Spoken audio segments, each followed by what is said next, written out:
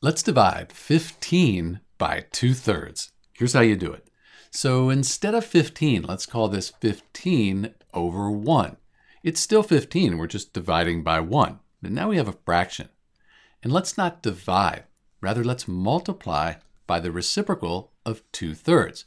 So to find the reciprocal for a fraction, you move the numerator down to the bottom, denominator goes to the top. So we have 3 over 2.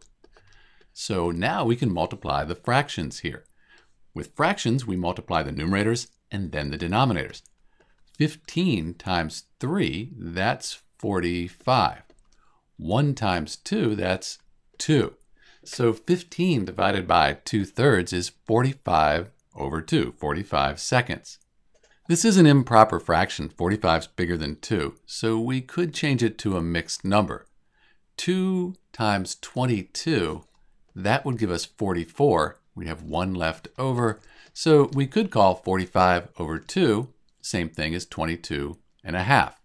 So in answer to our question, when we divide 15 by 2 thirds, you can say we get 45 seconds, or if you want to have a mixed number, 22 and 1 half. This is Dr. B. Thanks for watching.